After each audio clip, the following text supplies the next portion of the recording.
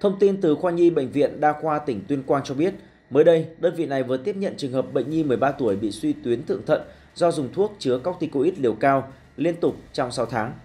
Theo lời kể của gia đình, cuối tháng 10 năm 2023, trẻ bỗng dưng tăng cân nhanh 5 tới 7 kg trong vòng 2 tháng, kèm theo phù, ăn uống kém, mệt nhiều. Gia đình đã đưa con đi khám tại bệnh viện Đa khoa tỉnh Tuyên Quang và được chẩn đoán bị hội chứng thận hư.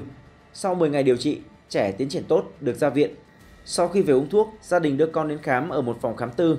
Mặc dù xét nghiệm tiến triển tốt, nhưng bác sĩ phòng khám vẫn cho trẻ duy trì liều tấn công 12 viên prednisolone 5mg trên ngày. Gần đây thấy trẻ tăng cân nhanh khoảng 1 kg trên tháng, kèm theo mệt mỏi nên gia đình đã đưa trẻ đến bệnh viện đa khoa tỉnh Tuyên Quang và được chẩn đoán suy tuyến thượng thận do dùng thuốc có corticoid kéo dài.